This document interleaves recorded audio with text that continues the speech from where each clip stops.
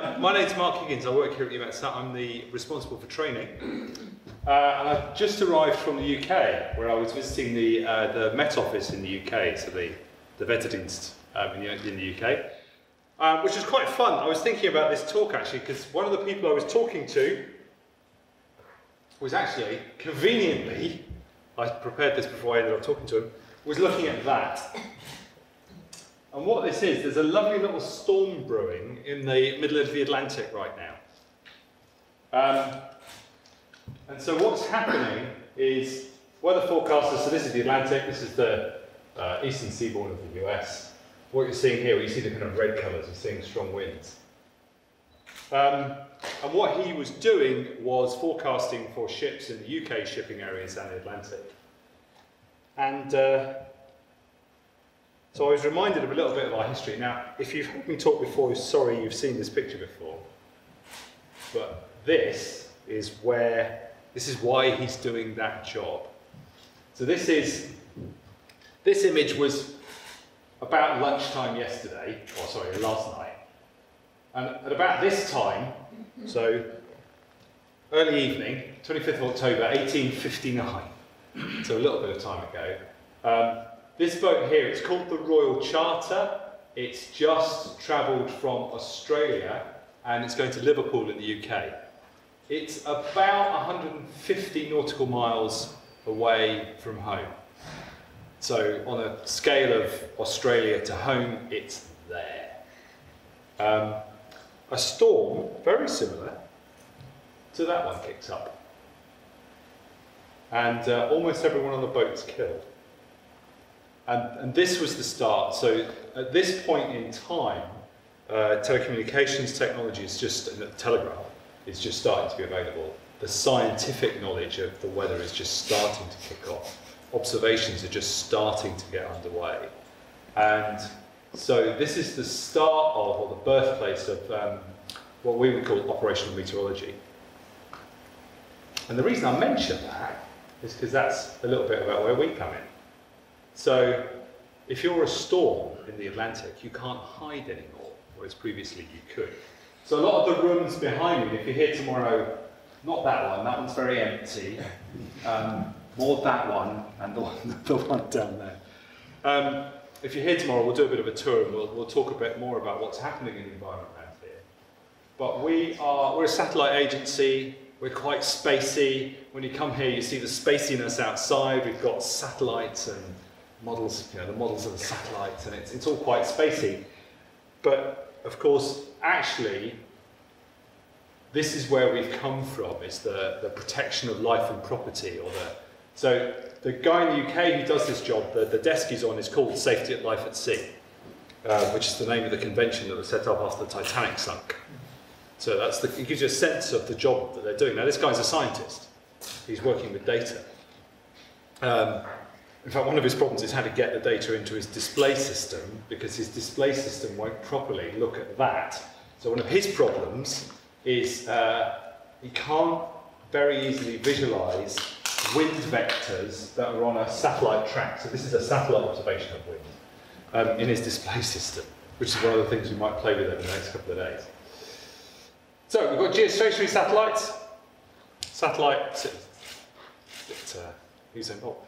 Um, so you've got the Earth, satellite. The satellite is orbiting, but its orbit doesn't move with respect to the surface of the Earth, because the Earth rotates and the satellite rotates at the same speed, so it's geostationary, 36,000 kilometers away, always with the Earth. Um, and from there, you can take regular images.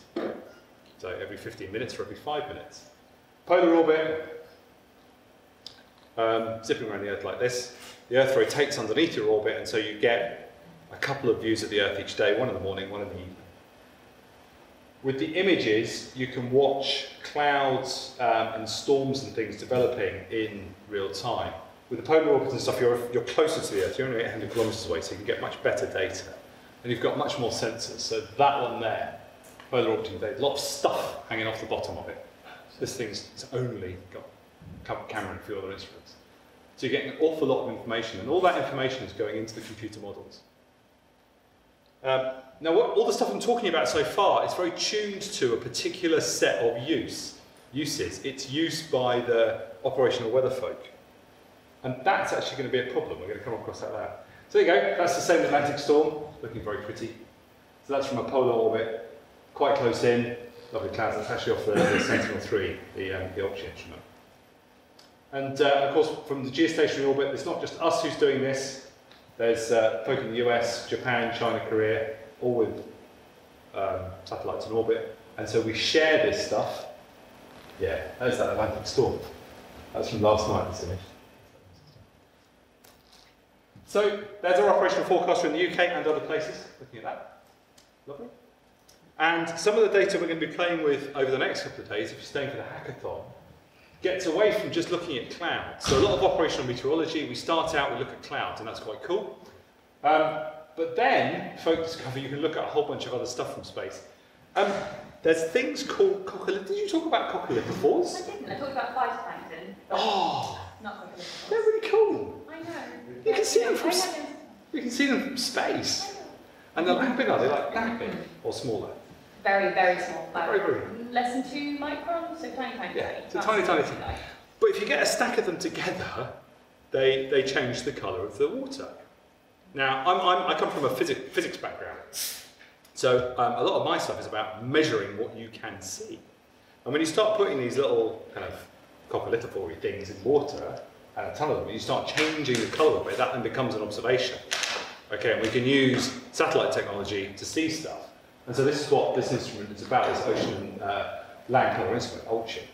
You can also measure sea surface temperature. Did you mention sea surface temperature? I did. Yeah, cool. Um, and altimeters. Did you mention altimeters? Good. Good. Like altimeters. Um, altimeters are really, really important. In, a little bit of our politics. So EUMETSAT Politics, we're an international organisation, we've got 30 odd member states. Um, if you want to join our club, you have to participate in two of the programs, the geostationary program and the low Earth orbit program. There is a thing called an optional program, and that's the altimeter one. The real problem we have is with, with this word optional.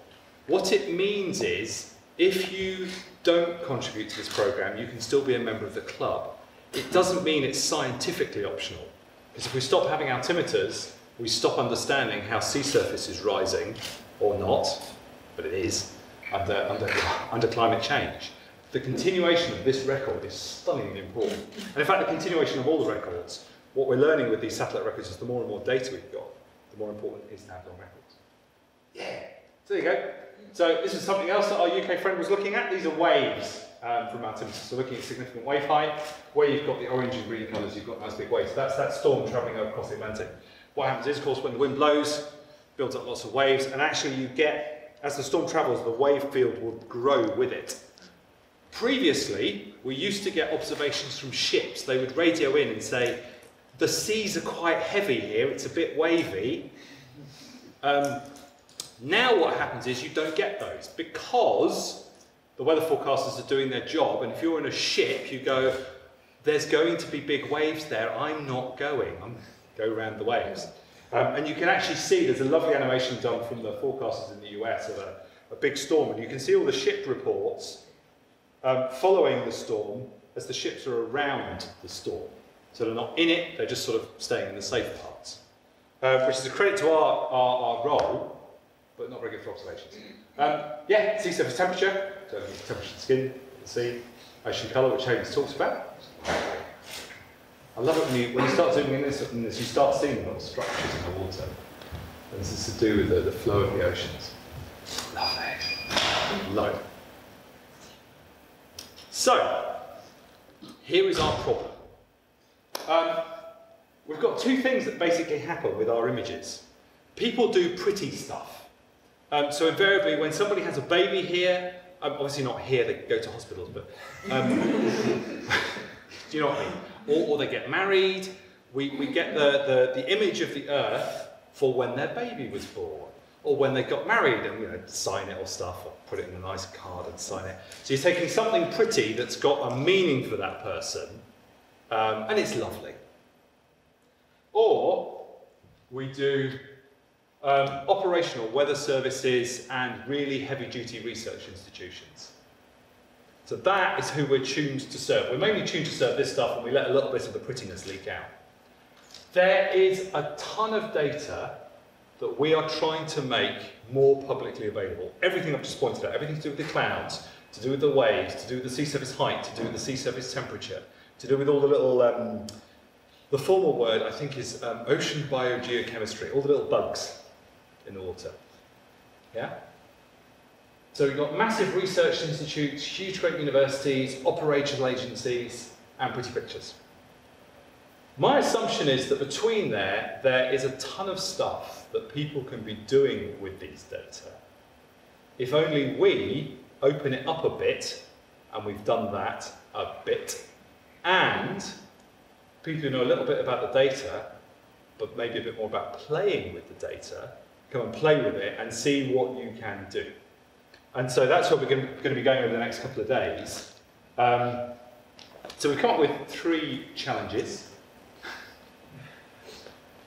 I've been inspired by your use of the GIF. um, so, thing number one, can you can you do something useful? This is the Acme self-disintegrating pistol, the, uh, the un unuseful thing. Can you do something useful with the data?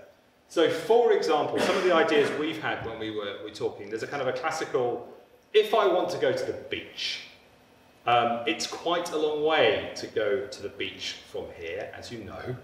So one needs to be a bit prepared. Well, one wants to know if it's nice to go swimming. Will I be warm when I enter the water? Will it be nice for me to go swimming in whatever beach I go to? There's another version of that application, which um, a little bit is tried in the US of if you fall off of a boat, um, what's your survival time? So there's the kind of the fun application side of using sea surface temperature of is it nice to go swimming? The other one is what's your, what's your survival time? How quickly do you need to be rescued if you fall off a boat?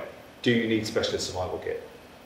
Um, so this, this is some of the applications of some of the sea surface temperature data. Now, within operational services, that's addressed using huge amounts of technology. Um, is there an app version of that? Is there a way of um, integrating some of the sea surface temperature data, some of the altimeter data, and other forms of data, um, so uh, data from fisheries, for example, that makes the data more useful, that potentially somebody could build a little business app of? Um, so we're quite interested in you know, what happens when you take these data outside of the, the research and the university and the operational environment, mix them with other data, what's the creative possibilities? Um, most of you are old enough to remember Ferris Bueller's Day Off. Ferris Bueller's Day Off? Anyone? Anyone? Okay, yeah, ten of us.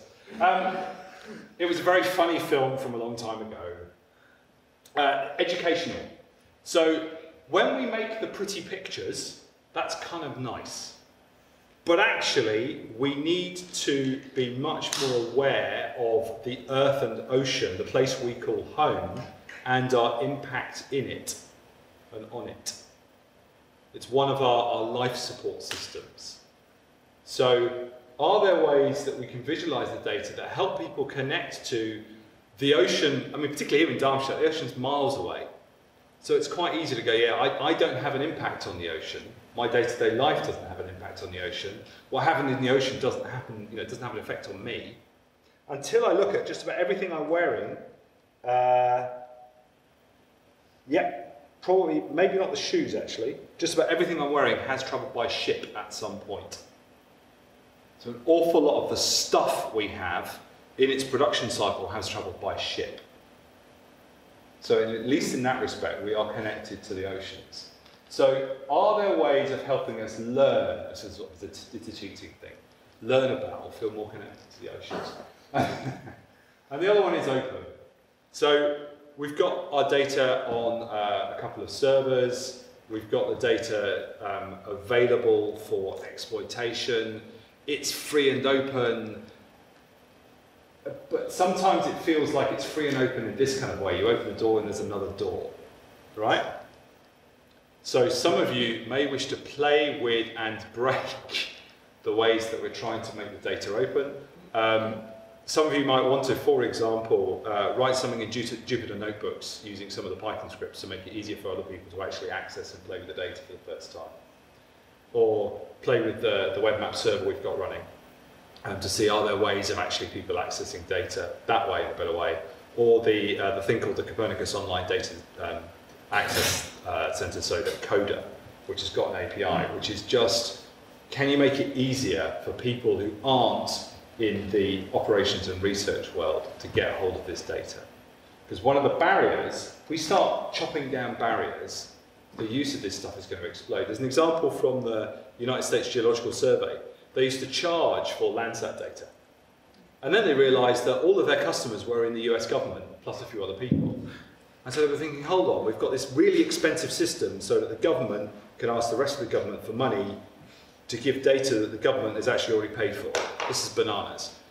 Right, it's free. Then they actually start improving the accessibility and the openness of the data and the usage of that data, and therefore the value of society has gone through the roof. So this data, there's no cost. It's free, it's open. But can we actually make it so that the door is actually open? So that's one of the, the challenges we've got uh, thinking tomorrow. So that's uh, where we're thinking with the data. So we've got a ton of data there. And what we're really after is inspiring people to play and see if we can generate some value which is outside of this huge research operations thing, a bit more than the prettiness, um, which I think will be a ton of fun. So I'm quite looking forward to it. Yeah, that's me. Thank you very much.